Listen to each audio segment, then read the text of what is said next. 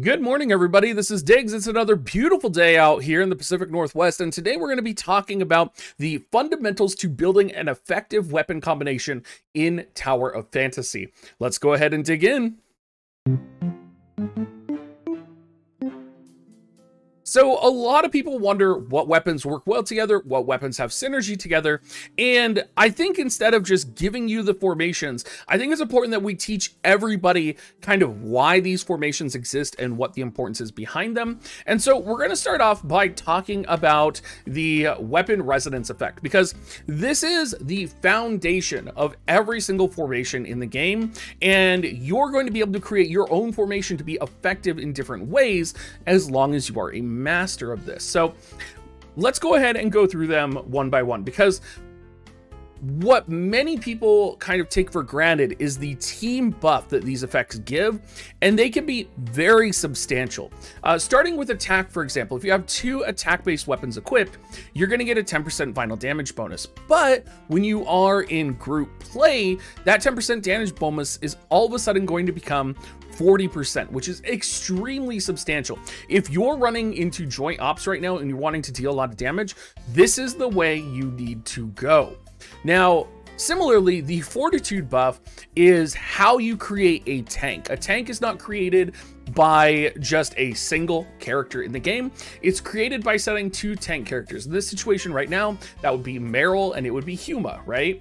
And by setting these two tank characters, you're going to get an increased damage reduction of 25%, a shatter bonus of plus 60%, and aggro plus 800%. And then in team play, that damage reduction is going to be an additional 20%. So you're going to have 45% damage reduction. And this is where kind of things can get interesting and things can get a little uh, creative, right? Because you have these two tank slots, right? And right now, if you're wanting to be competitive and you're wanting to tank, it's going to have to be Meryl and Huma. That's just, those are the only SSR tanks that we have, right? So what do you put in that third slot? And for most people, from everything that I've seen, that third slot is almost always a shatter-based character. So if you're wanting to run a tank build right now for Fortitude, you might consider running Meryl, which is already a very powerful shatter character uh, you'll run Huma, and then you could put in King just for that additional shatter bonus and potentially become a very powerful shatter tank, right? Uh, similarly with healing, uh, having two healers in your party, right now that would be like Cocoritter and Nemesis, but Nemesis is a little bit of a different story here, which we'll talk about in just a little bit. Uh, but Benediction requires two healers in the party. Uh, so initially it gives 100% heal up, and then party-wide, when you do party-wide content, it gives plus 100% on top of that. So very easy to kind of spec yourself and the formations kind of create themselves because there's not a ton of SSR units right now. Now, the balance formation, which is one tank, one DPS, one healer, I'm not the biggest fan of because it kind of gives you damage reduction, it gives you healing effect, and then it also gives you shatter effect, and then it also gives you more damage reduction and more final damage. I just I like the I like the emphasis on the others, not so much the balance. You may want to go balance if you're like a Giga Whale. Uh, there are some builds that do come out later in the future when we have really strong power creeped weapons that are released that do require the balance build. But for right now, you're going to want to focus on kind of the other three. Now, what's special about Nemesis and how would I build the different teams that I'm going to build? So let's talk about Nemesis real quick because Nemesis brings another point of conversation to the table. And this is going to be specifically around the ability Volt Resonance. Now, you may have heard people say you need to equip right? You need to equip three weapons of the same element, and that's not necessarily true. Um, it may be good if you do have the effect of Volt Resonance, but Volt Resonance is a type of re resonance that's essentially a weapon passive. It's not necessarily going to show up on the main equipment screen. The only character with Volt Resonance or with Resonance or Elemental Resonance on the global side right now is going to be Nemesis, and you can trigger it by just having two lightning-based equipments equipped. So if you are wanting to run maybe a full support build, you could potentially run Nemesis, you could run Cocoritter as an additional healer, right? Uh, and then you could run something like Crow or Samir and add in a mixture of damage. Now, you wouldn't have very good Shatter in that situation, but maybe that's not what you're looking for. Even though many guides that talk about healers talk about healers running a third Shatter, very similar to tanks, just so that you can get past those Shatter walls or those shield barriers uh, for specific boss fights later on in the game. So what does Volt Resonance do? Uh, it increases Volt's attack by 15% and Volt resistance by 25%. Uh, activate by equipping two or more Volt weapons, uh, and this set effect does not work with others. So if you do have a specific elemental build that you're wanting to build, this could be very powerful. This might kind of lend the type of formation that you want to build this way.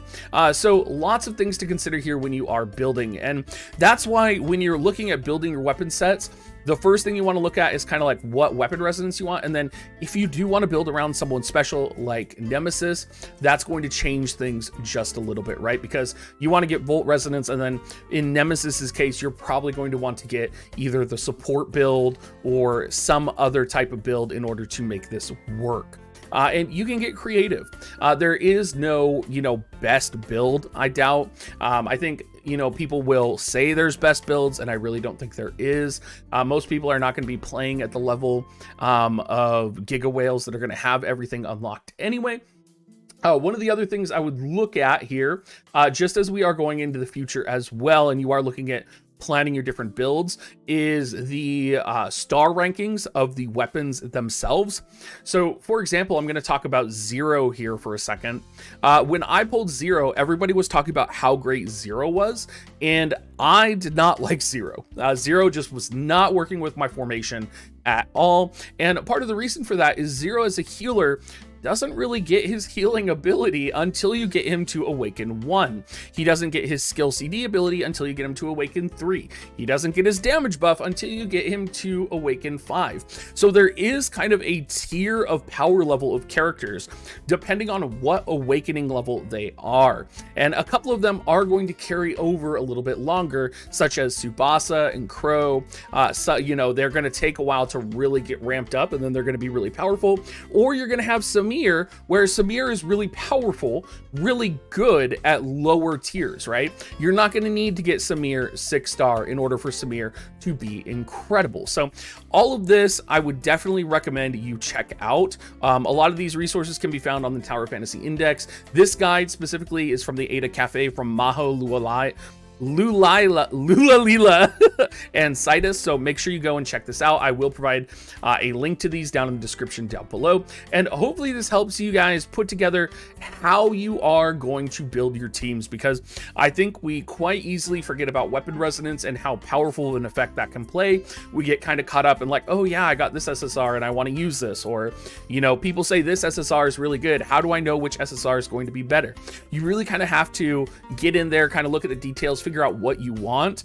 Uh, right now, a great example is I have Meryl, I have King, I have Shiro, and I have Zero.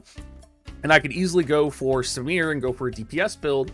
Or since I have King and Meryl, I could also go for a tank build by getting Huma right now. Now, granted, I know that Mark is coming in the future and Mark is supposed to be a very powerful tank character, and so I may not do that, but it is something where, you know, I'm thinking about my SSR ticket that I'm going to be getting here soon, and I'm thinking, which one should I be getting? So thank you so much for watching, everybody. Again, I hope this was helpful. Please share this out to people. I'm a new Tower of Fantasy content creator, uh, and I'm only going to get bigger by you guys commenting, liking, subscribing, uh, and sharing this out to people. So thanks so much, everybody, and I will catch you guys next time.